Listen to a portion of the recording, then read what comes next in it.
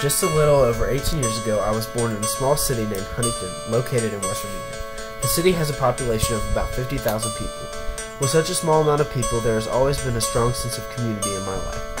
For elementary school, I attended a small private school named Covenant in Barboursville, West Virginia. This school was instrumental in providing a good foundation for my future.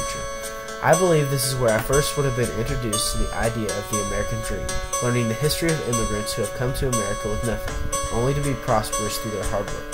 In the sixth grade, I switched to a public school in Huntington named Beverly Hills. At this point in my life, I was being introduced to various social groups. This was important in my growing up as I was exposed to all different types of people. Also, in middle school, I began to play golf, a sport that would have a big impact on my life. After middle school, I moved on to Huntington High School.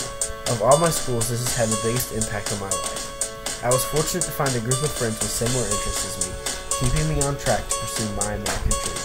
I believe the people that I became close with will be lifelong friends and continue to influence my life in a positive way.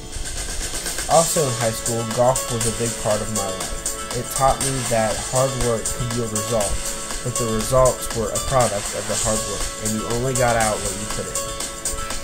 After high school, I realized that it was a big time for change.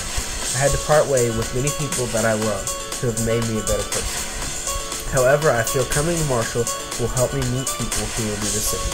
The tradition at Marshall is strongly felt, and I feel as if it is a community inside a community, full of people who want to succeed in their own American dreams, whatever those may be. So, what is my American dream? For me, I want to go to the Joan C. Edwards School of Medicine here in Marshall. This has always been a dream of mine to become a doctor, especially in a town I love so much and that means so much to me. I believe that the community will help me achieve this goal, and in return, I plan to stay here and help people in need and pursue my American dream.